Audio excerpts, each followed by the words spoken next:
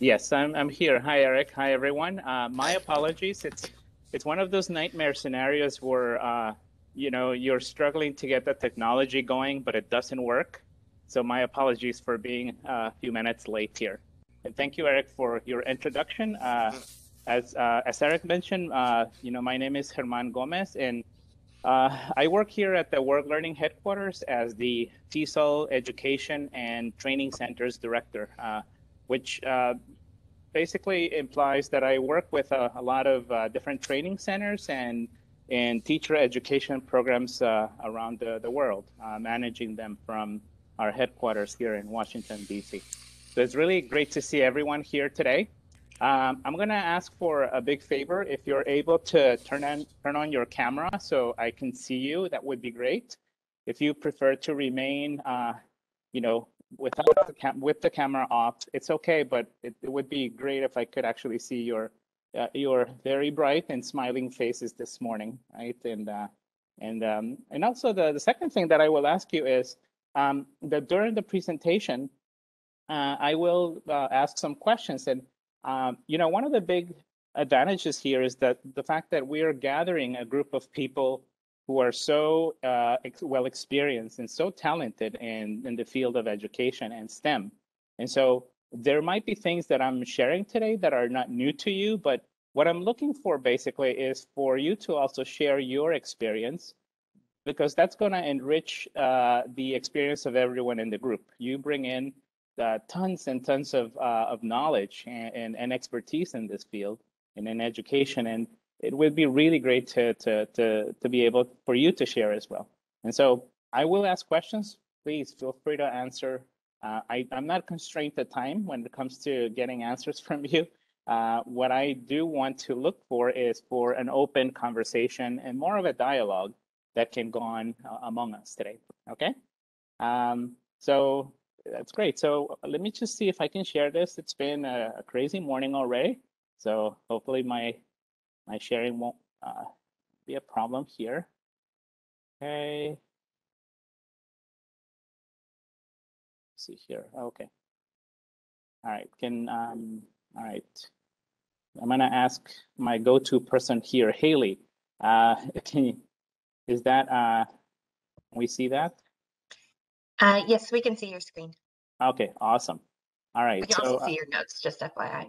Oh, so how do I do this? Okay. Hold on. Share to a second screen, Herman. I was having the same Uh, issue yesterday. Okay, hold on. One second. You know what I'm gonna do? Hold on. If you have a, a second screen, you're just pressing on slideshow and then uh, How's that? Is that good? All right, awesome. Okay. Um, alrighty. So, uh, so why don't we get started then? So, uh, part of the agenda for today is I, I want to uh, provide a brief introduction to World Learning, and I know that um, you know this is something that all that all of you may be well familiar with our organization, but I especially want to uh, share a brief introduction because uh, we we do have a lot of work with partners around the world, and a lot of what I'm going to share today has been part of our experience in, in working with partners around the world, and and also the fact that we will discuss uh, the importance of core values when it comes to partnering. Um, I will also, uh, you know, work with you and ask some questions about your current partnerships, uh, and your participation is actually appreciated in for this part of the uh, of the of the session. Um, then we will go into some basic premises about partnership, or at least this particular presentation, which I would feel are sort of key to keep in mind as we go through different uh, uh, uh, aspects that we're going to discuss this morning. And then we will discuss some types of partnerships and finally aspects to consider when it comes to uh, partnering with other organizations. And again, um, a lot of this is just um, it, it has come to us through experience that we've that we've uh, you know we've had implementing different programs with partners around the world. But also, uh, I'm looking forward to hearing from you as well in terms of your own experience. Okay. So just to get started, uh, World Learning at a glance, we are, uh, we as an organization were founded in 1932. Uh, we are a nonprofit or an international nonprofit organization uh, with headquarters in Washington, D.C., and uh, the School for International Training in Brattleboro, Vermont. Um, we actually do a lot of work in core areas of education. We uh, work with over, over 627 institutional partners across the world, um, 92 programs in education. We also work, we have worked and are currently working with a total of over uh, participants from over 150 countries. Um, and we have a network of teacher, a teacher network that is a global teacher network with about 7,800 uh, participants as well, and 90,000 alumni from our programs globally. Um, the core areas that we work in are people-to-people exchanges. So you might have heard perhaps of uh, the IVLP program. Um, that is something that World Learning manages for the Department of State. Uh, we also do a lot of work with global education and STEM innovation. Um, one prime example is uh, different uh, STEM uh, centers that we have uh, in STEM projects that we have around the world. We are currently in the process of opening up a, a STEM center in Saudi Arabia, which will serve uh, as an after school, as an extracurricular um, STEM program for uh, for kids, middle age, uh, sorry, middle middle school, not middle age, middle school and uh, and high school age students. Of course, middle age, you know, quite quite welcome, and that's why I would be there too. So um, uh, so that's part of the process that we're going through. Um, we also have, uh, we work on institutional strengthening as well, working with universities uh, around the world, um, supporting their strengthening through teacher education, through faculty capacity, capacity development, uh, through systems strengthening as well. Uh, we also do a lot of work in youth and work in workforce entrepreneurship, such as uh, a lot of the projects that we have going on in Algeria, working with uh, with youth there. Uh, we also have um, areas of uh, projects in civic engagement, which um, we also have are currently developing and implementing in Mongolia and Myanmar. Um, and finally, we have the TESOL, which is you know, one of the core areas of world learning is the TESOL and English teacher training which uh, offers uh, training programs to language, English language educators, uh, also at a global uh, scale, uh, working through certificate programs, funded projects, and um, and also as a as a recently working more with um, direct work with students in the learning of English language, of English as a foreign language. So that's a little bit of a glance. World Learning at a glance. Uh, in terms of our core values, World Learning's core values uh, guide all of our actions and are central to our identity. And they unite us to inform our internal and external relationships. And they drive the decision making and reflect how we do our work to fulfill our mission. And it, these values include the role of the community, there's intercultural understanding, social inclusion and justice, and of course, sustainability. This, these are core values that we have as an organization which do play a key role in partnership because as you will see later, uh, you know, this is one of the aspects that we suggest in considering when, when partnering up. Okay.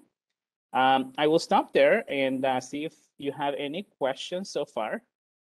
Um, it may be just a way to go about it because I can't see everyone. Um, um, maybe if you can just go ahead and Haley, are they unable just to unmute themselves or, or or participants? Uh, do they need to request? Everyone, everyone can mute themselves and unmute themselves. Okay. Um, All right. So feel free to ask any questions. Um, if not, we can move on. Um, all right. So, uh, so I wanted to ask. I wanted to start with a with a question. Uh, and what types of partnerships does your organization have already? Meaning, private sector partners, local government agencies, foreign government agencies, local or international NGOs or individuals and families. So what are some types of partnerships that your organizations already have? I'm curious to hear your voices here. Maybe if you can say your, you know, if you want to participate, please uh, say your name, where you're uh, based at the moment, and, and share a little bit.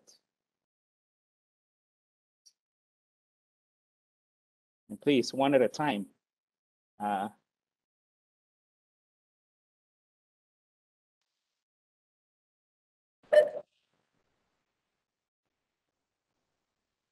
So at the Binational Center in Guatemala, we have partnerships with um, local universities. eh, we have some partnerships with the local municipalities. So there are programs like English language eh, programs that run with them. Eh, we have had a partnerships with local schools like high schools and middle schools. And um, obviously we have a partnership with World Learning and um, where we've been able to develop different uh, products and, and programs. Um, so I think that those are some of the, the central uh, pro, um, partnerships that we've been able to develop. And obviously with our community of, of students and, and parents, everyone who's part of that community. Thanks, Marbella. Thanks for sharing. And um, I'm also seeing here that uh, Adeline has uh, mentions that um, you've got a lot of partnerships with the U.S. Embassy and various projects, right? And also uh, local bilateral center and network uh, partnerships. Uh, Adeline, would you mind sharing what kind of local bilateral uh, partnerships do you have, or just to give us an example of what they might be? Um, so we're working on a project right now that's funded by the U.S. Embassy, um, and that's led by um, the Centro Ecuatoriano Norteamericano, which is the Mm. bilateral center with Ecuador and, and the U.S.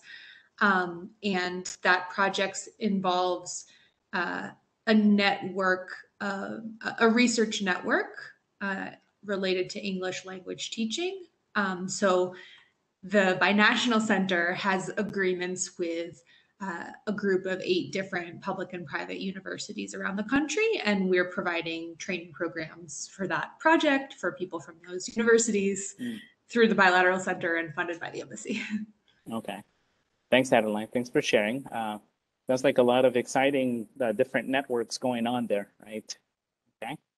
All right. Um, anyone else? Hey, uh, uh, let me share in a brief. So uh, I'm Binod from Okay. Nepal, uh, and then we have uh, I, I'm from Kathmandu University uh, School of Education, and then uh, so being a teacher educators, we have partnership with different schools across the Mm. country, and then we also have recently uh, uh, extended our partnership with different local government bodies, and then we do have partnership with few NGOs and INGOs. And then uh, in one project funded by uh, Norwegian government, we have partnership with three different universities. One university of our own country and one university from Norway. So in Mm. this way, uh, we have been conducting partnership, and then uh, we have been part of this world education. Perhaps we'll go for for long for years. Hope so. Uh, It's really great to meet you. I've heard a lot about you and your organization, and it's finally great to to see a face to to the to the name that I've heard. So, thank you. Thank you, for thank sharing. you. okay. All right. Uh, all right. So, why don't we move on then? Uh, so, thinking in terms of like the the types of partnerships that you already have. Um, and again, you know, this is nothing that may be new to your organization, no matter what the scale is at the moment that you are managing in terms of projects. Um, we do want to take into account uh, some uh, some basic premises when it comes to this particular presentation. And something that I want to establish for this presentation is the fact that, you know, one of those premises is that all efforts in partnership are to be focused on the benefit of the learner and learning outcomes.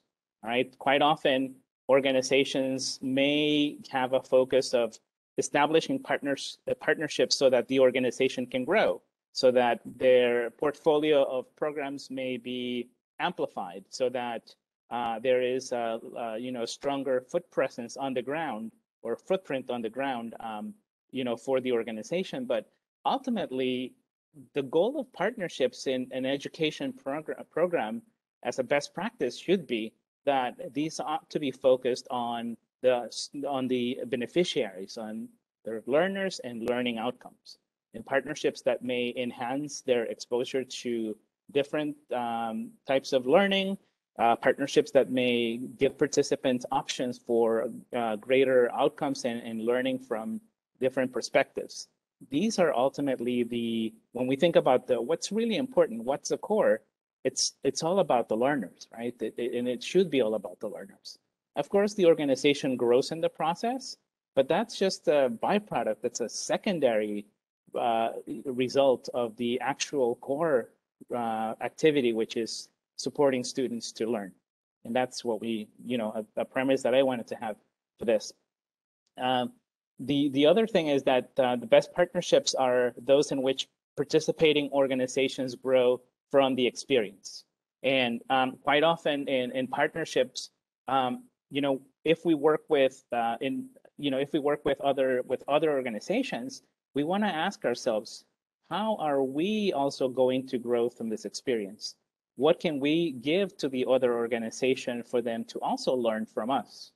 And quite often, when working with uh, different organizations, and this has been my experience working in different organizations in my uh, professional life, um, is that there are times at which we may say, we're getting a lot from this organization, we're benefiting from this really great organization. But we can also stop to think about, we're also putting in a lot into this partnership, and we're also contributing to this partnership. So in that sense, we need to reassess the way, perhaps we need to reassess the way in which we see partnerships, where it's it's not a necessarily a big organization or, or a big established or well-known organization contributing to a smaller organization. Rather, it's two very important organizations building up each other for better programming in the future. That's something that, you know, I wanted to also bring up. Uh, the next point is that partnerships are at their best when they ensure long-term sustainability. And one thing that we always, and I've, I've, I've talked to some colleagues here at World Learning, is that we're very happy to implement programs around the world. But we're also at times, you know, when we have to close programs, uh, sad that we have to do it. And we recently had to close out a, a, a, an important program for us in Myanmar, given the current situation. But um, our local, our, our partner actually seems that they will be able to run with the ball. and so that's ultimately the, ultimately the goal. When we partner and we are able to, through this partnership, develop and ensure long-term sustainability, that is a success. You know, it's not about the fact that we can be involved in the project for five, 10, or 20, or 50 years.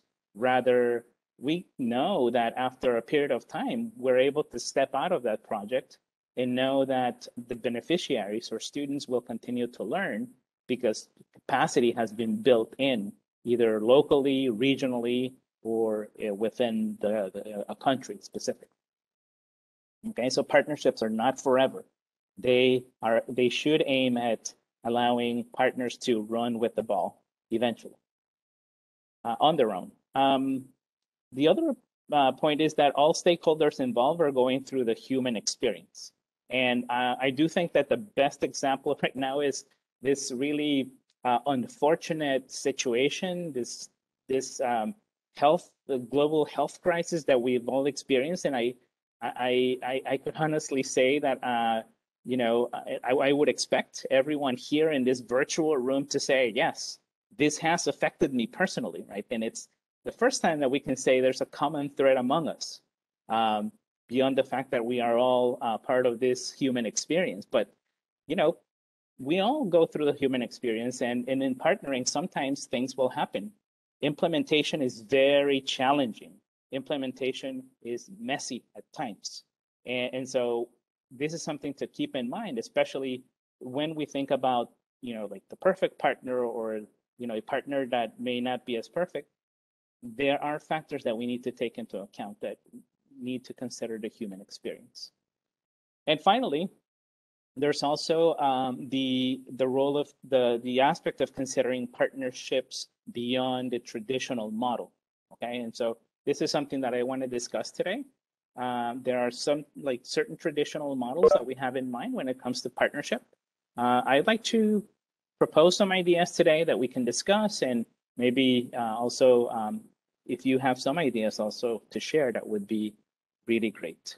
Okay, I will stop there and ask um, looking at these basic premises for the presentation, um, what are some things that come to mind? Meaning, are there uh, are there some of these aspects something that you have thought about or are already, you know, since you're involved in different projects, um, something that is familiar to you and and and and that you know it really resonates for you? And feel free to share, please.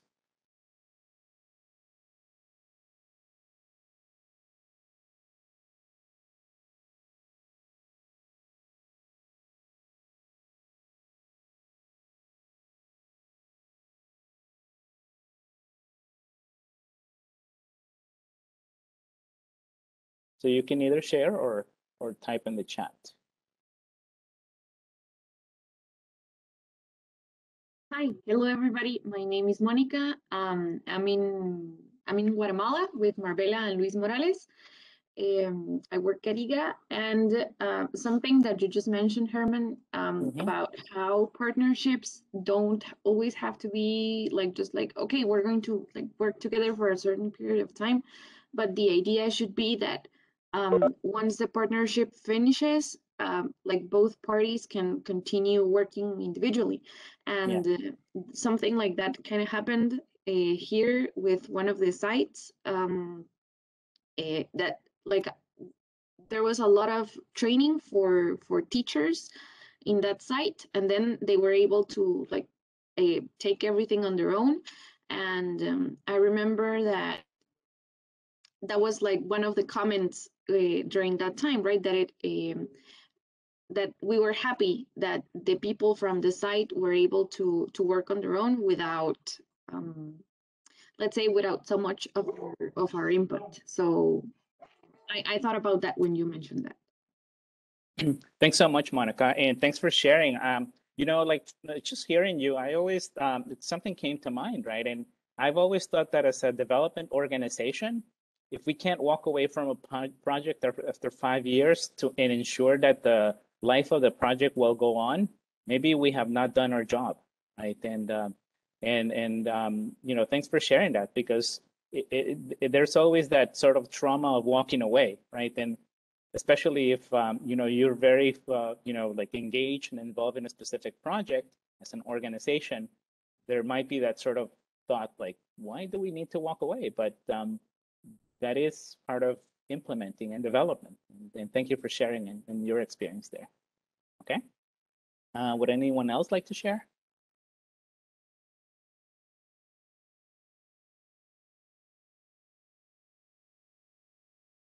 all right Okay. All right. I guess we can move on then. Um, so those are some of the basic premises for this particular presentation. Um, something else that I wanted to uh, to share uh, as well is there are uh, different partnership options, and and and and one of them is um, you know something that I, I I wanted to to bring up. You know, like in in terms of different partnerships we want to get away from the traditional partnership, which it's usually, you know, um, the, the, the first thing that comes to mind is a partnership that is based on funding, for example. And that's a, you know, a traditional view of, of partnering, but there's also other models that um, I wanted to share that you might already be familiar with. And one of them is the partnership um, options or the partnership option, partnership option based on programming and resources. And um, and you know there are organizations that uh, work along these lines where the partnership that they establish uh, has to do with uh, what we call a collegial collaboration. And that may that may include for example the uh, exchange of uh, technical experts the exchange of teachers between two or among more uh, three or more organizations. Um, it might also be the an option where there is um, a sort of exchange in in resources that are in common, and meaning two like-minded, like-vision organizations getting together and thinking, we've got this, you know, set of resources that we could share with you, and that's a way to partner. It's it's a way to add value to a partner organization. Um, we don't necessarily need to uh, think in terms of, you know, these are our resources only, but rather thinking in terms of providing resources for others. Um, I've, I think I've shared with some of you in the, this virtual room that one of the things that I love about living here uh, is the fact that I have a chance to do some volunteer work during the week. And my uh, what I do uh, once a week is that I teach an English class to immigrants uh, from Central America at a local community center here in um, it's uh, in, in in Arlington, and um, and it's really um, you know it's been really fulfilling for me to to be able to be there. And one thing that I love about the community center that I volunteer in is the fact that they have this uh, the value of abundance, and by abundance means that we don't need to fight for resources, that there is uh, an abundant uh, pool of resources that are available to, for everyone, and so they actually partner up with other organizations that are similar minded and who share ideas, who share best practices, and even share programming at times. Um, and in the sense that, you know, there is abundance and there's room for everyone. And so that's one of the things that I wanted to mention as something that came to mind in thinking about a more collegiate collaboration. Um, the second option is the community type of collaboration. And by this, we mean asking our, ourselves the question, how, how much does your organization involve your local community? Um, for example, if you're having a, if you have a, a, a STEM center and offer STEM programming, um, how often do you have access to, or how often are you able to bring in people from the community or volunteers who could serve as instructors or facilitators or mentors within your program? This is something that uh, we have experienced in our Algeria project and our Algeria office where we run uh, STEM centers. Um, these are basically, uh, you know, programs that are run by volunteers and they are usually undergraduate students who come in to work with um, middle school middle school age students and who serve as mentors for these students. And the model has worked really wonderfully. And so what are some ways in which you can also, or you are already engaging the local community? And that's also a way to establish partnerships with individuals, um, with uh, with people who are who might have expertise in those fields also within your local community. And finally, the other type of uh, partnership in programming could be the through digital collaboration. Um, and this could be through sharing of digital resources, but also thinking in terms of the current social media uh, networks that you have. And, and thinking in terms of being able to share some of the activities and events that other organizations uh, are carrying out within your social media networks. And for us, uh, a prime example of this um, has been uh, that in um, as we get started in Saudi Arabia and start up our, our office there, we also need to establish our name, right? And uh, early on, uh, earlier on in this project, we actually partnered with a with an organization that had uh, it, it has a, a well-established presence in country, and they agreed to share a lot of our programming through their social media and their social media network. And that's that's a way that in which they came on board and partnered up with us. Um, and that's another option for a partnership beyond the just traditional one especially in this day and age where you know social media is so important and plays such a big role in getting to uh, in in promoting and in in in basically sharing about the activity that our uh, uh, you know our different projects uh, are conducting and so those are three options for programming. And I'd like to stop here. And I'd like to ask, what are some things or what are some ways in which you are already doing some of these or carrying out some of these partnerships in programming? Um, or what are some ways in which this could be done in your organization? So two things, either things that you are already doing or what are some ways in which they could be done?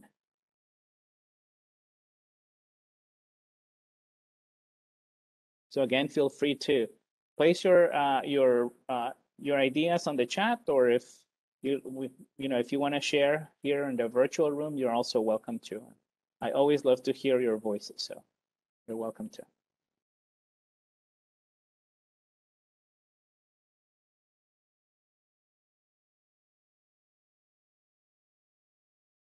Uh, just to uh, begin the discussion, so uh, here in Nepal, uh, just looking into these three different perspectives, I think uh, in our universities, uh, we have gone more the community collaboration because one of our uh, universities' vision is to uh, to work with community people and then to bring visible transformations in the schools of community.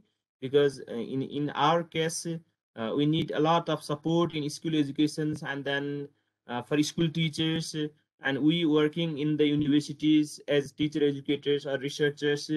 And if we simply conduct research activities in university level being um, more armchair researchers that does not make change in the community so our university has much uh, given emphasis in the community collaborations and then we have been doing in the same case and the next one is very interesting idea is that it, this is digital collaboration. So one of the problems that we normally face uh, for our graduate and postgraduate students is the access of the resources. For example, uh, this is uh, research papers, and then because normally we didn't have uh, uh, huge fundings to buy this uh, uh, big database, resource database, and then for for that purpose, we, always request to other universities who have access those those platforms. And then if we get those resources for our university also that would be great. And then recently we, we received some of the helps from those other universities i think that is more aligned with the digital collaborations just about the sharing the resources so thank you so much only this much from my side Uh, thanks, thanks, Vinod, and thanks for sharing. And I do think that that's really a key and a, a, a great example of how this digital collaboration can take place. So that's a way. I think uh, Michael, uh, Michael, Yeah. you, you want to? Okay, go ahead. Hello, Herman. Good morning, everyone. Uh, Michael. gre- greetings from Cali, Colombia.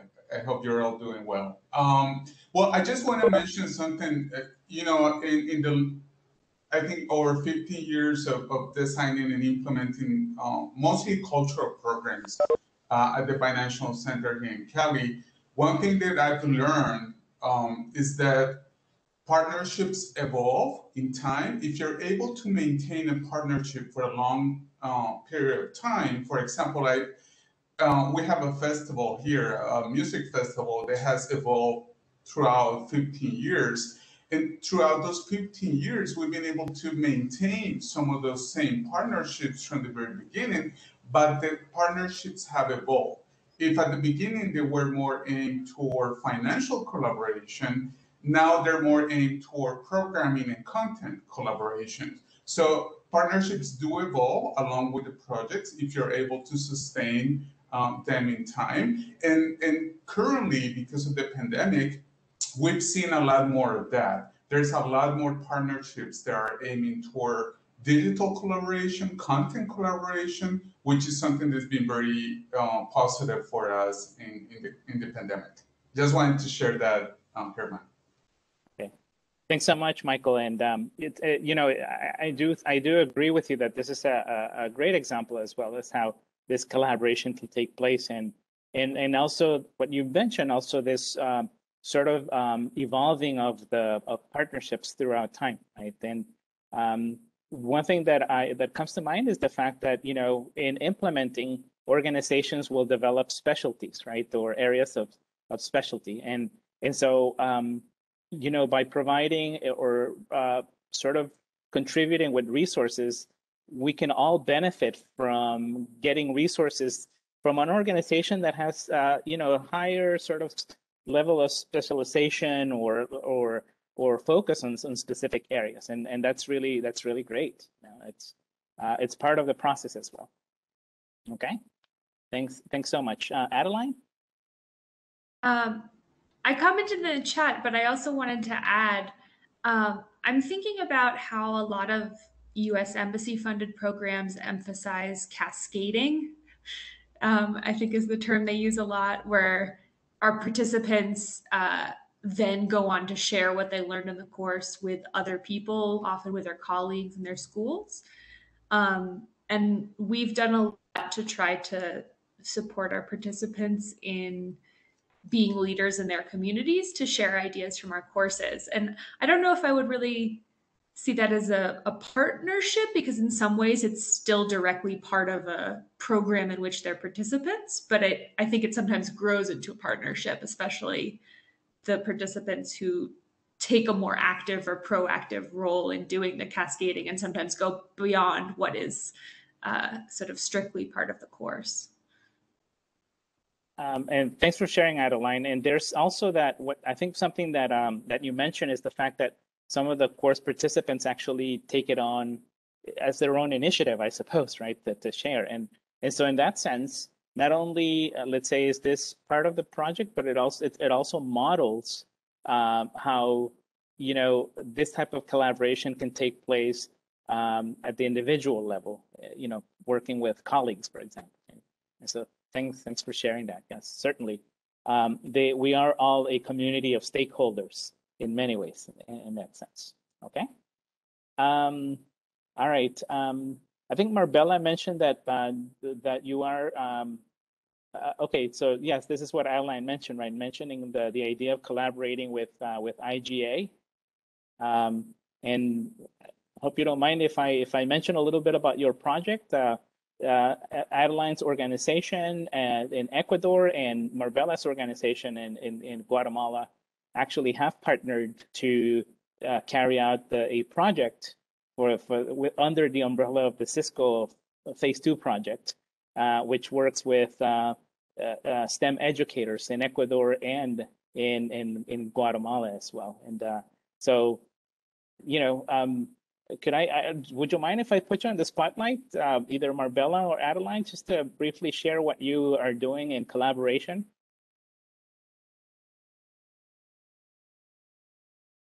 Either one of the two is fine.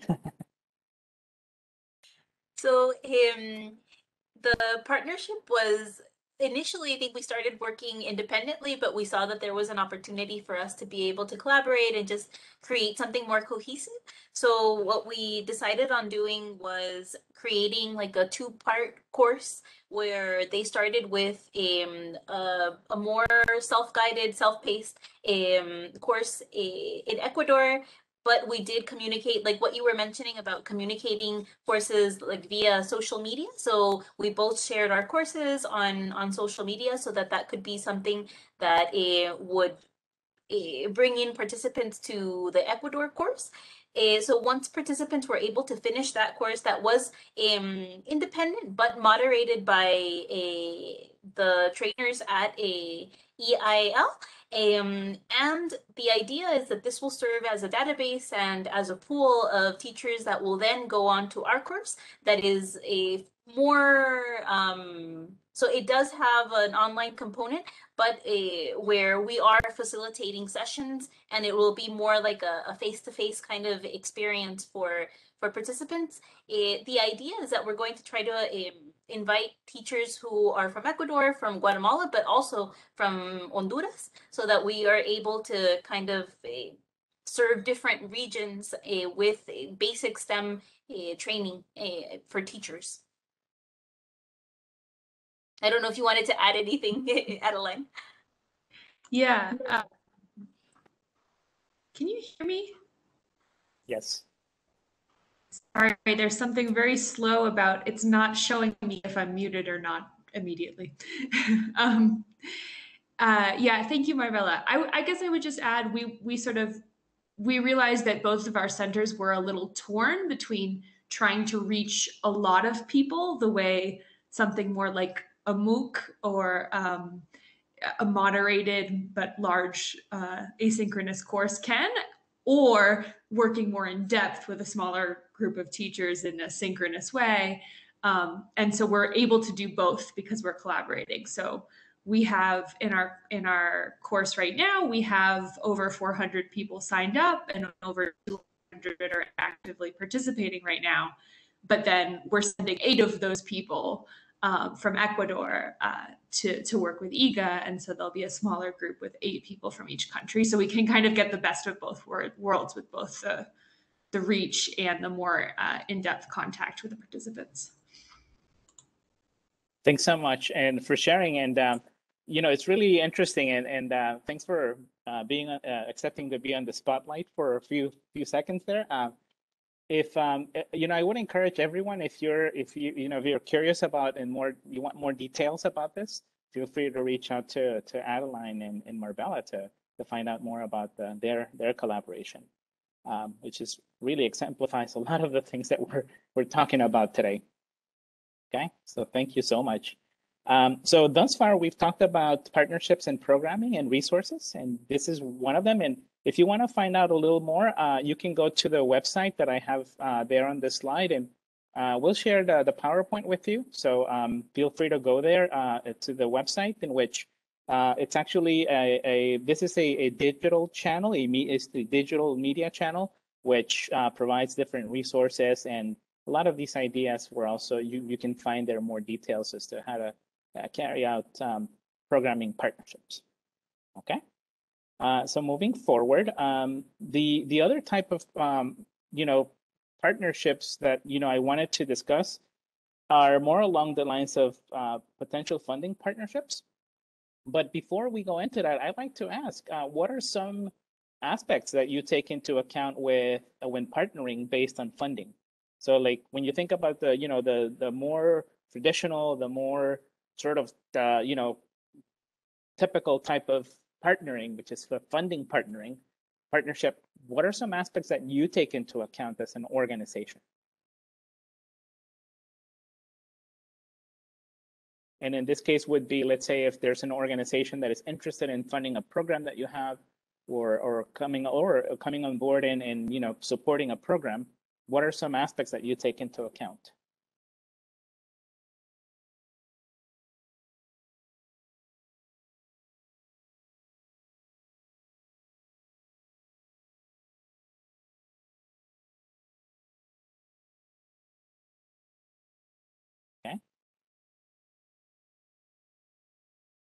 And again, feel free to type in the chat if you like.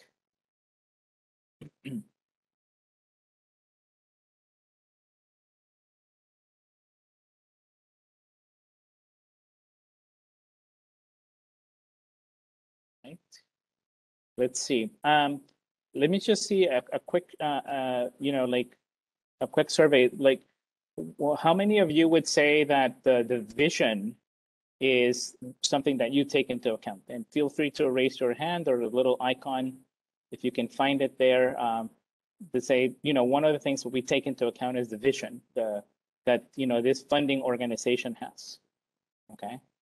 Um, how about the um, their their goal for long-term sustainability? Okay, be. All right. So those are some some possible aspects to take into account. I wanted to share these, which I've, uh, you know, I've, you know, we've worked through and we've experienced working with different organizations. One of them is the fact that, you know, we need to look at, uh, you know, whether or not the visions are the organizational visions are aligned. And that's uh, the, the, key aspect, right? We we want to make sure that the two organizations are uh, are have a common goal and have common core values. And this is why at the beginning I mentioned a lot of our common values. Um, you know, our core values as an organization, which include uh, community, uh, you know, long-term sustainability, the role of uh, inclusion and, and justice as well in our programming, right? And and so when partnering up with organizations, these are some key aspects that we look into. Um, we also want to think about uh, in the in terms of like best use of resources, and um, you know one of the things that we want to keep in mind is that the key question is how are these two organizations complementing each other right? How do we complement each other as organizations? Um, you might have been in this situation where you were in conversations with another or another organization and they did exactly the same thing that you do, right? And so uh, the question is, how can these two very similar organizations work together? Is it possible, or is it maybe not the best option, not the best way to for resources to to be to be used? And and in in, in those cases, it might be a matter of actually referring organizations to other that may be more complementary than our than ours are. Um, and so, for example, um, going back to my uh, my example here with the community center where I volunteer, um, a another another community center approached them uh, a couple of years ago to ask them if they could collaborate with their English language learning program, and they were uh, offering exactly the same thing that was already pretty much set up at this organization where I volunteer, and their answer was, well, you know, I think our program is set up, but we could refer you to another there's another community center that is looking to start a program and they don't have a lot of resources to do it. So maybe they would be more interested. And so in that case, it's a matter of also analyzing how are we really making the best use of resources when partnering? Is this the best use or are we overlapping? And in that case, creating uh, a bit of an excess in the use of resources or maybe not allocating them in the best way possible. Um, again, is another question is is there capacity building for both organizations? How you know what kind of capacity will this project build for us? And how can we contribute also for the funding organization as well? How are we contributing to their mission and there's also the idea of two-way communication and partnership and this is something that's really important is to actually know what the funder's history is in terms of implementing prior projects. Uh, is communication a key value, a core value in this organization? Because as I mentioned before, implementing is very messy. It can get completely messy at times. And so we want to make sure that there is uh, this open communication as well. And those are some aspects that I just wanted to bring up. There are many others, and I would encourage you to think about some of those also as we move forward in future projects. Okay. Um, and finally, uh, I also wanted to mention in terms of the partnerships, I wanted I wanted to mention some partnerships to connect students to STEM organizations. And this is the idea of building bridges between the classroom and learning in, uh, in, in real life, connecting students to local communities and resources, potentials. There's a potential also for civic engagement and job prospects and reducing project costs and creating a name for the school or the center. And by STEM by STEM organizations, what we mean is that if you have a STEM program, whether it's a school program or an extracurricular program, we encourage you to also find organizations locally or internationally that can that you can connect your students to and that they can actually access and have uh, access to more resources beyond the resources that you're offering at your center. So it's a matter of not only providing students with instruction in STEM, but also helping them build a network in uh, with build a network which will lead them into professional uh, in career um, more career oriented um, connections. You know we're not instructing students or not we're not working with students just for the moment but also building workforce skills that will be useful to them in the long run. We're also supporting students to develop their own professional networks and to learn what are some of the available resources and and, and in the process also building their civic engagement as well and so some of those examples of organizations that are STEM organizations that offer resources to students free of access are Code Nation, the Curiosity Machine, Girls Who Code, Iridescent, STEM 101, and Stoked. So some examples, and I actually included the website where you can find the links to these organizations and the resources they offer and the PowerPoint. Uh, and these are some options, you know, in which you know you can also connect students uh, to a wider world of, uh, um, of STEM, a wider universe of, of, STEM beyond your program. Um, I I wanted to to to stop there and ask, you know, what are some ways in which you're already connecting your students to other out to outside resources and organizations, or what are some ways in which this could happen under the current Cisco project as well? Thinking, you know, we do have some uh, some resource partners as well.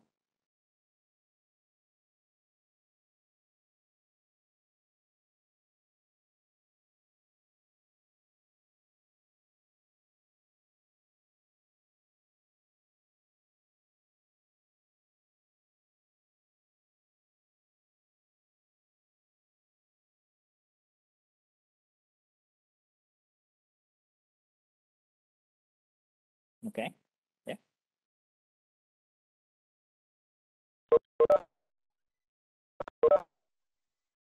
All right. Okay. Any any idea? So uh, I, I think maybe one that I can share is how um, you know we have the the we have a partnership with the Lab Exchange. That's also you know uh, a clear option, but also I guess what I would also uh, promote is the idea of exploring some of these sites as well, um, which you know could be uh, some options to connect students to STEM organizations. And I think I have a comment here from Marbella. It uh, says that the the uh, IGA High School was able to partner with the STEM Center in Algeria, right? Uh, Marbella, would you like to briefly share about that? Um, according to what I, I wasn't like completely involved because the the IGA school, the high school is a little bit separate to what I do specifically. But I do know that eh, there was some teacher development happening. But then also, I think that there was an opportunity for students to Mm. interact and to be able to do projects together uh, with students in Algeria. So I think that that was just a, a very um like it was a very rich experience for both teachers and for students. Okay. Yeah. I, uh, thanks, Marbella. Yeah, I, I mean that's the the idea, right? How to how to connect students beyond uh, or outside of your program, uh, because a, a lot of the a, a lot of learning also you know takes place on in an autonomous manner, right? And and also more of the the the, the students' motivation to to find more information and to in a way to as we would call it to geek out, right?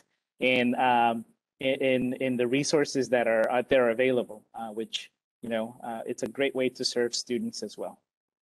Um, the other um, the, the final thought that I wanted to share is uh, just think in terms of looking for partners.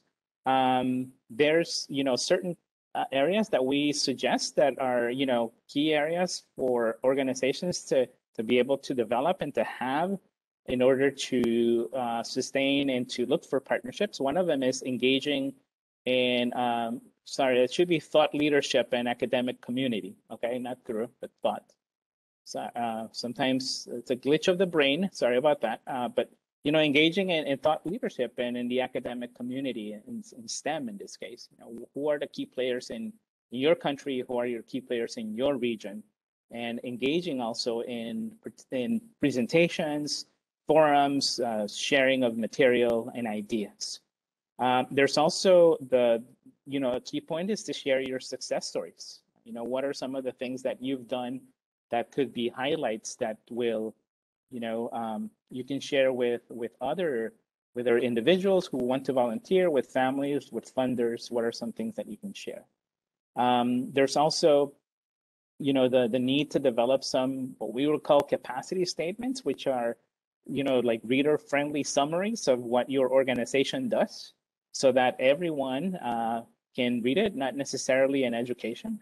This has been a big challenge that I've experienced sometimes from coming in from a more technical side and meeting with potential funders. Um, uh, the conversations from our side may be more technical, and sometimes the funder is not necessarily an educator, but an administrator in a ministry or or or you know or on, on an organization and so we also uh, have seen the need to develop very reader friendly statements that can share about the different projects that we've developed um, also um, you know if this is something you want to do like developing some costing models for your programs meaning there are some funders who want to know what the, you know, what the cost will be for a particular program.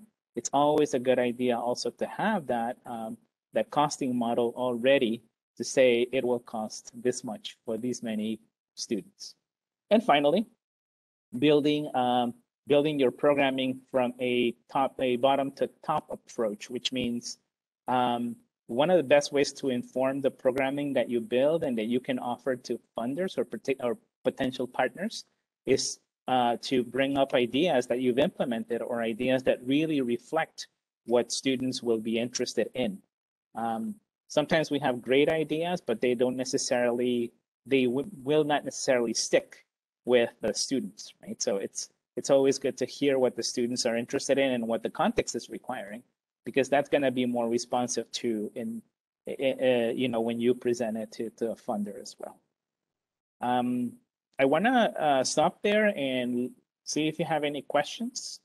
Uh, if not, you know, it's really been a, a pleasure to be here with you this morning. I, um, you know, I wish I had more time, but it's, it's very limited. And so do you have, if there are any questions, maybe I can take one or two questions.